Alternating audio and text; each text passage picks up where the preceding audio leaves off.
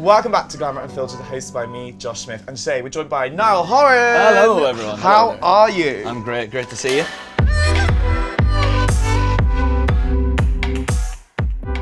so new album on Yes. the horizon. I can't wait. Yeah, I'm- I'm, excited about this one. I was excited about the first one, Yeah.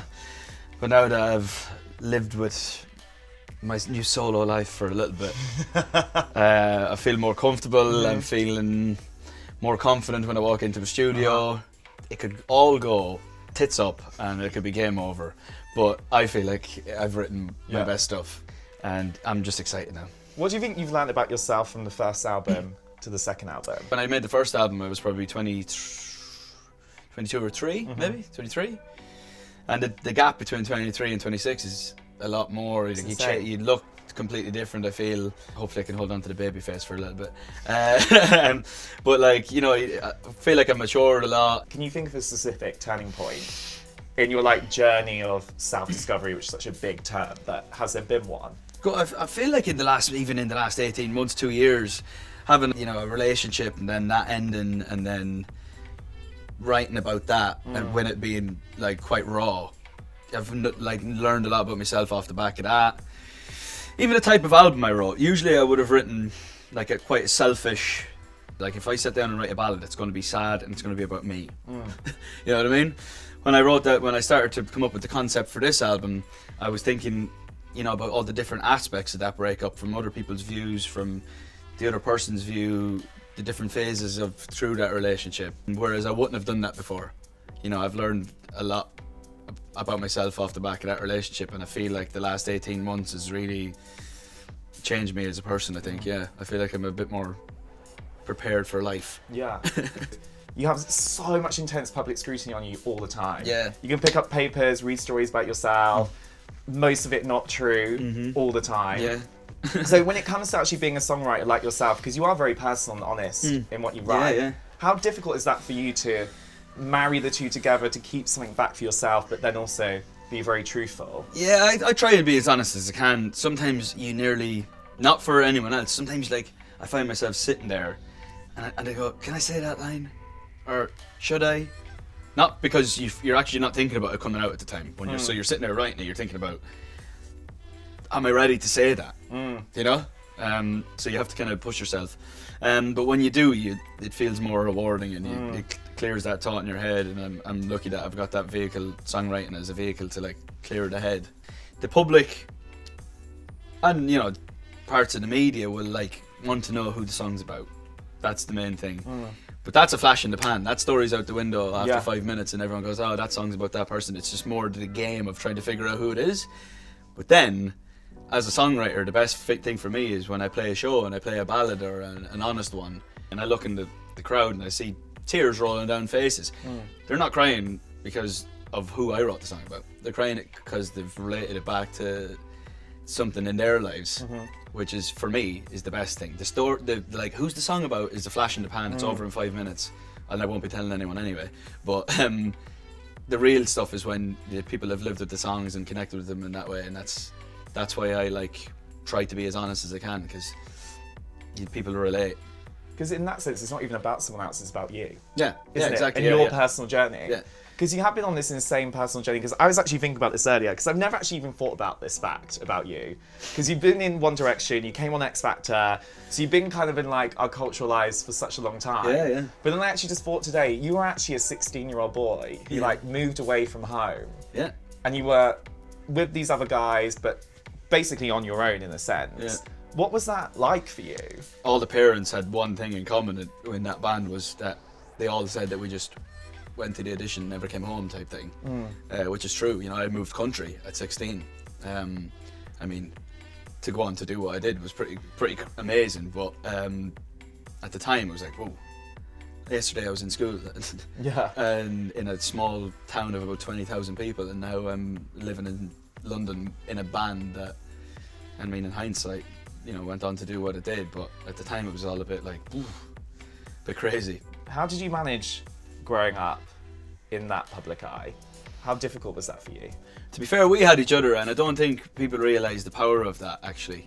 Because you know, you see solo stars, and like I watched uh, Justin Bieber's new docu series, and you can see, you know, and, uh, and a guy you know quite well, and you know, you know how it affected him, and people didn't realize the, the pressure that he was under or things like that. And I can relate to that 100%. But we were always lucky that we we had each other. I mean, he had his manager and his security guy. We had our manager and our security team and we, people, that, but we also had each other and each other to share the experience with.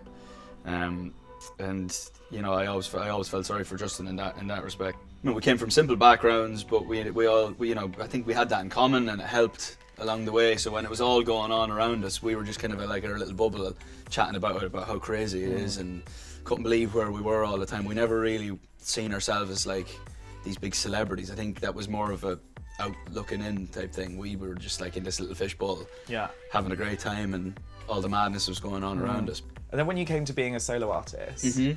you were out there on your own. Yeah. How difficult was that for you to establish your own identity away from that group and create your own identity away from it? Like, what was that experience like? Um, I was lucky because I knew. I mean, I like I'll never be complaining about the one D tag following me around. uh, Absolutely not. But um, I I was lucky. I always knew how my album would sound. Like I know what I'm into. I listen to the same music a lot of the time, same styles of music. Um, and I always kind of had a feeling if I was to make an album of my own, how it would sound. Just having that was half, the, you know, half the battle, if you like. And I think as well, you're then also doing this and putting yourself out there at a time where social media is completely overwhelming everyone's Yeah. lives, uh, for the good, for the bad. How do you cope with the negative side of social media, and what has your experience of the negative side of social media been like? personally, I'm quite thick-skinned, hmm. and I don't really like. I just know that it's some person bored off their head at home, just keyboard warrior, as we hmm. always say. It's just it feels like the vulnerable people. I hate watching like vulnerable people being taken down by keyboard hmm. warriors, and I, I actually I'm always tweeting about it, about how I think it's just ridiculous how people can just say what they want um, to each other because if I was to walk down Oxford Street and just shout at someone and abuse people like they do on online, I'd probably be arrested. Yeah. So um, that's Everyone where I stand on that. but everyone just needs to be a bit kinder in that sense. Yeah, but don't- but we spend so much time as well talking about the downsides of social media as well. But there's so many positive sides, Yeah. like you were saying as well, because you have this amazing fandom Yeah, that I has mean- literally supported you throughout. I always think like how big One Direction would have been if we didn't have it. Mm. Because like I mean, the Beatles were a different story because they did all of that. They took over the globe but nothing like a newspaper. Mm. You know, we have we were at we came out at the start of ourselves and basically like Justin Bieber and Taylor Swift and stuff like that on when- at the start of Twitter and, and things like that.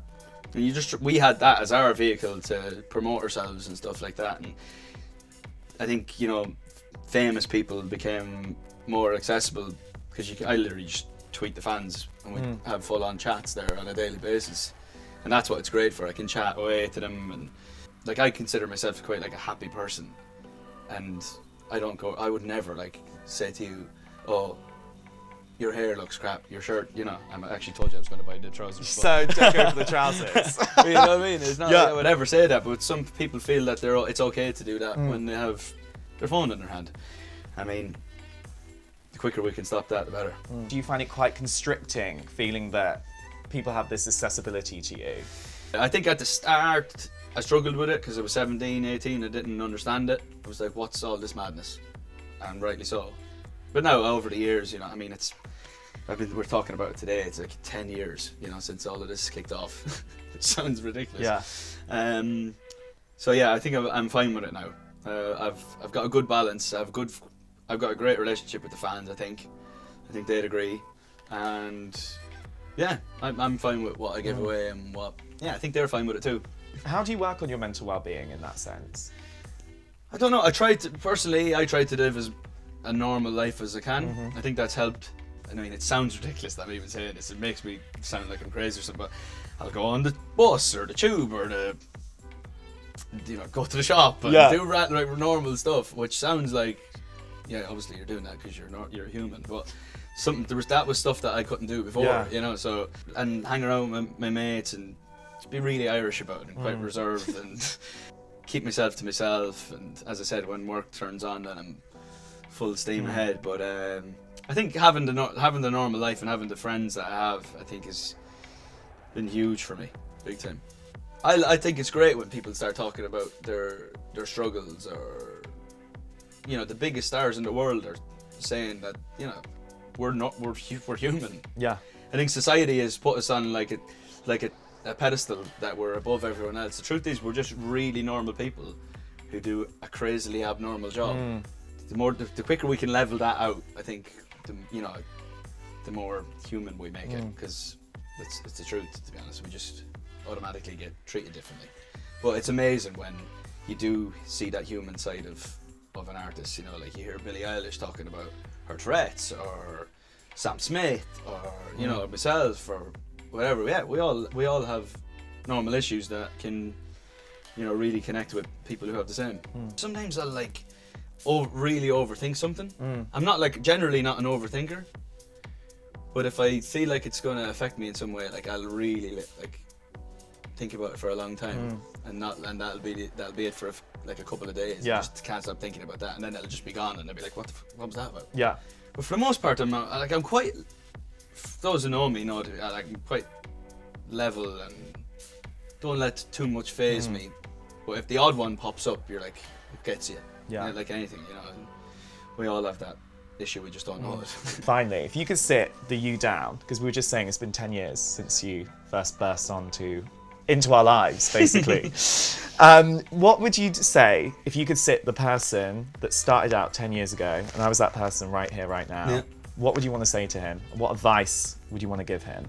keep smiling because there's one thing like people always say to me is you you always look like you're enjoying yourself that's what people always say to me like you you were the one that was like yeah I could tell he was enjoying himself that's the way it should be because if like I literally had dreams and stood in mirrors and there's pictures of me at three years of age with guitars and microphones in my hand showing off you know that fella's good you know that's the guy who dreamt of doing the job that I do now so the longer I can keep that in my head, the better. But um, yeah, I would just say get ready because it's going to be wild. Do you still feel like you're doing it for that little kid that was Oh, singing in the mirror?